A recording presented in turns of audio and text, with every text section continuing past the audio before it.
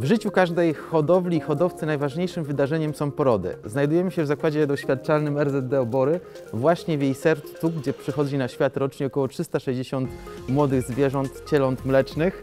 E, Od tego, jak ten poród przebiega, zależy pomyślność e, laktacji matki, ale również to, e, czy będzie młode zwierzę zdrowe, dobrze się rozwijać i później zasili tą hodowlę. E, Dlatego staramy się wykorzystywać wszystkie dostępne możliwe narzędzia do tego, żeby sprawnie monitorować ten moment, e, tak aby nie dochodziło do e, sytuacji, w których nie chcemy i kończyły się one tragicznie śmiercią cielęcia bądź nawet śmiercią matki.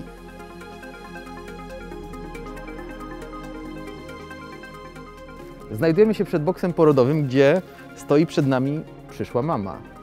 I zamiast mieć chwilę intymności, jest bacznie obserwowana, bo niestety u gatunku, jakim jest bydło domowe, częstotliwość trudnych porodów jest dosyć duża, a w związku z tym monitorowanie ich ma kluczowe znaczenie e, dla funkcjonowania stada i zdrowotności mamy i cielaka. Dlatego wspólnie e, z e, naszym partnerem, z firmą Promity, wpadliśmy na pomysł produktu, rozwiązania, które wychodzi naprzeciw tym skomplikowanym procedurom, bo tak naprawdę większość porodów odbywa się nocą i wykorzystaniem najnowocześniejszych technologii, łącznie z sztuczną inteligencją w, w wizji, e, którą tutaj obserwujecie, po to, żeby być w stanie e, wykrywać takie porady i, informować hodowców o tym wydarzeniu.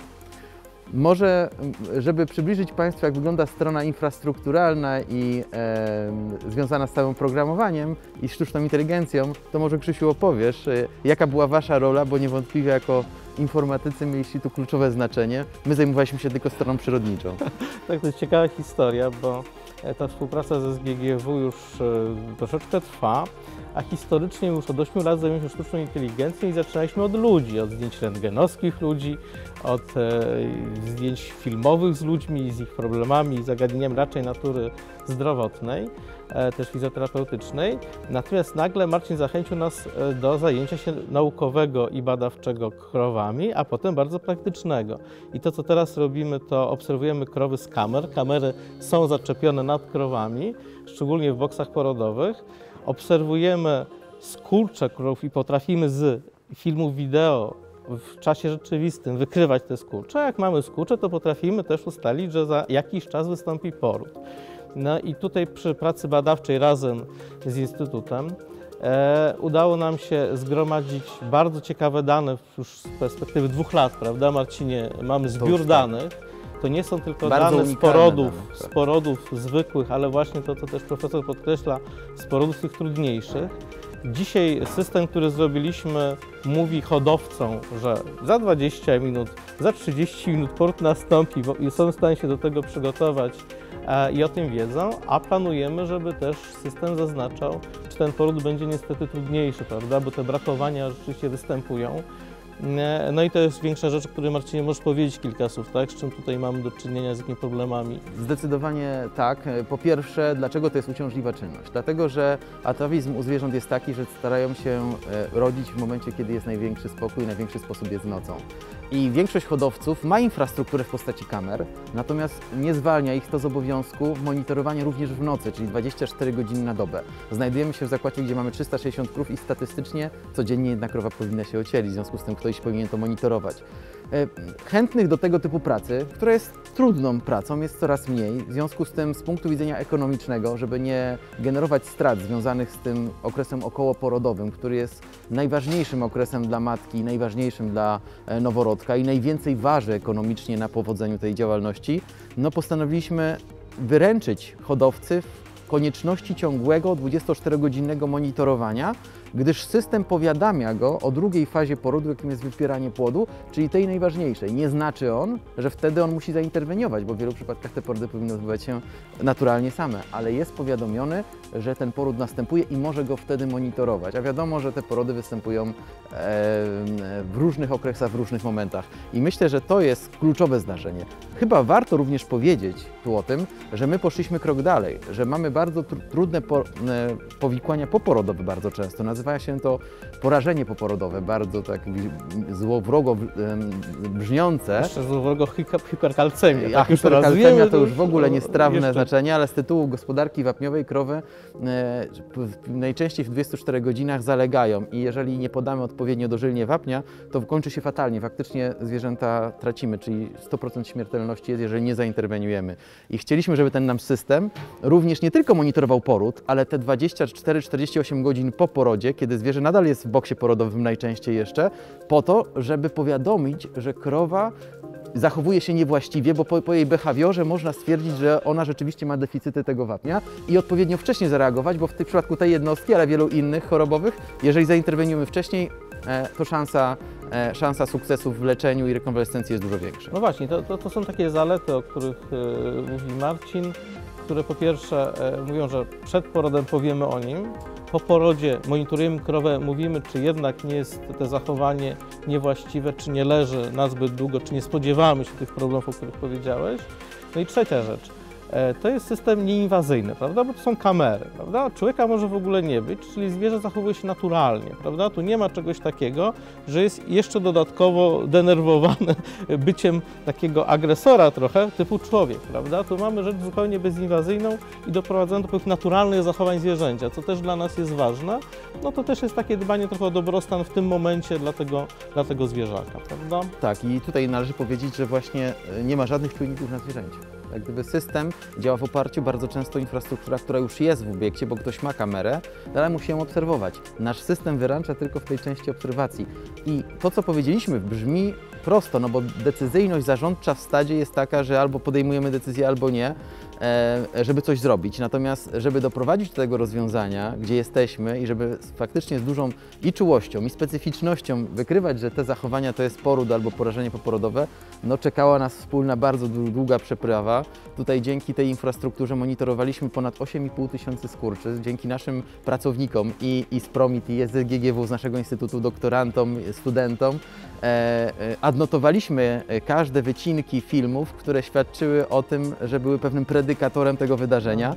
No i To później przekazywaliśmy. praca, tak, A to to była było Gigantyczna praca, mamy terabajty tak naprawdę danych wideo, które są opracowane w sposób naukowy przez zespół tej Marcina w dużej mierze, prawda? Wiemy, co się działo. E, No i nie, nie, nie spoczywamy nad tym, prawda? To znaczy mamy te porody, mamy inne zagrożenia związane, poporodowe, które, które występują i myślimy o wykorzystaniu tych danych dalej, czyli myślimy o kulawiźnie, prawda? E, Też będziemy inne trudne tematy podejmować przy okazji tych rzeczy wizyjnych łącznie z mastitis, prawda, czy z innymi takimi kluczowymi kondycji. zagrożeniami, zagrożeniami, prawda? No wszystko w okolicach dobrostanu, to chyba możemy podsumować. Tak, czyli wpisujemy się bardzo mocno w trend. Chciałbym też podkreślić, że właśnie e, działamy na rzecz tego, że no, praktyce jest tak, że coraz większe populacje zwierząt muszą być obsługiwane ze, ze względów tutaj różnych przez coraz mniejszą liczbę osób i to zarządzanie może być skuteczne, a skuteczne jest wtedy, kiedy jest zgodne z dobrostanem, bo bez dobrostanu nie mamy wyników produkcyjnych.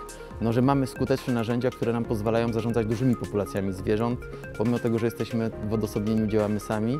Już są takie stada, gdzie półtora etatu musi zajmować się stadem 400 krów i wtedy nie jesteśmy w stanie monitorować wszystkich zwierząt, nawet jeżeli każda ma imię i każdą mamy jakąś historię, to po prostu doba jest za krótka, żeby wszystkie monitorować, a systemy wizyjne są naszymi oczami, a mądre algorytmy sztucznej inteligencji y, podpowiadaczami y, sprytnymi tego, co powinniśmy w stadach zrobić, jak postąpić i na które zwierzęta zwrócić szczególną uwagę.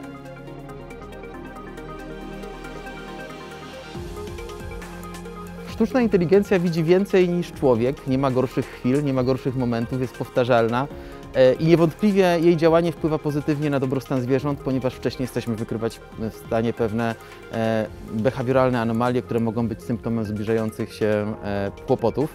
Ale tak naprawdę chcielibyśmy, żeby ta współpraca gospodarcza to też było realne narzędzie komercyjne do wykorzystania przez przeciętnego hodowcę, nie tylko nasz zakład doświadczalny. No i tu musimy pochwalić troszeczkę naszych hodowców, rolników, prawda, bo widzimy takich prawdziwych liderów technologicznych.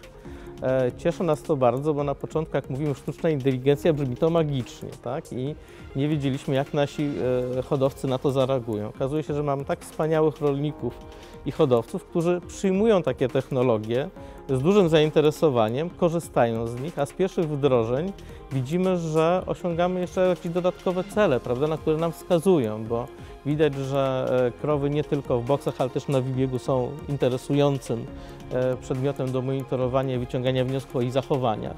E, Widać, że, e, że elementy różnych kłopotów chorób, tak jak e, jak choroby z kulawizną związane, prawda? To są rzeczy, które podlegają monitoringowi i identyfikacji i że tak naprawdę ci nasi hodowcy są bardzo pragmatyczni. To znaczy te nasze wdrożenia, które mamy dzisiaj, e, tu wspomnę pana Kamila, o którego jesteśmy istotnie zainstalowani, to są wdrożenia z dużą radością po stronie hodowcy, prawda? On jest zadowolony z tego, że z tego korzysta, ma informacje dosyć ciekawe odnośnie tego o porodu, ma zapowiedź tego porodu, ma zapowiedź rzeczy, których nie widzi, prawda? On nie widzi, no kilka dni krowa, prawda, w boksie jest, no kiedy, na ile, prawda, kiedy to wystąpi, a cecha tych systemów sztucznej jest taka, że one widzą czasami trochę więcej. Są nauczone na tak daleko idącym, rozszerzonym zbiorze danych, że człowiek tego nie, nie, nie widział wcześniej, prawda? My troszeczkę szybciej widzimy niż człowiek i to jest ta zaleta, to jest ta korzyść z używania tego systemu. Dzięki temu ci nasi hodowcy mają więcej czasu na inne rzeczy, oni generalnie nie mają czasu, prawda?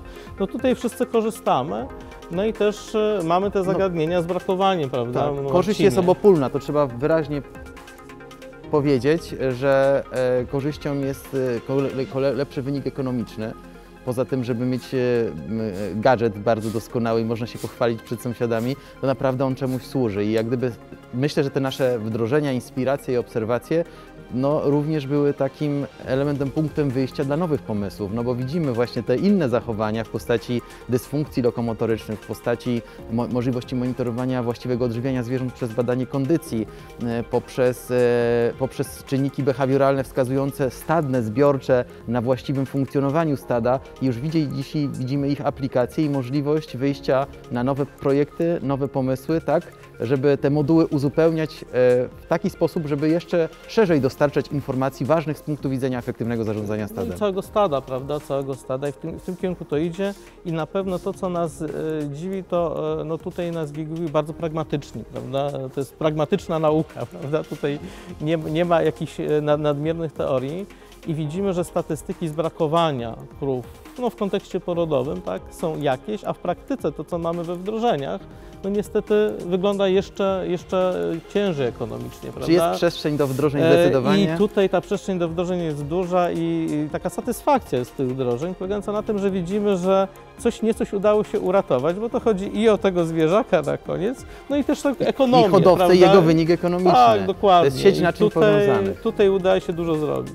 No i myślę, że e, fajnie, że w końcu udało się wyprodukować coś, co miało e, zaczątek w postaci pomysłu wspólnego poprzez fazę badawczą, rozwojową, a dzisiaj może nie tylko być przedmiotem chluby naszej współpracy e, i tutaj też tego możliwości zainstalowania w naszym zakładzie doświadczalnym, ale już możemy się pochwalić również tym, że trafia do pierwszych hodowców, którzy komercyjnie zainteresowani są takim rozwiązaniem.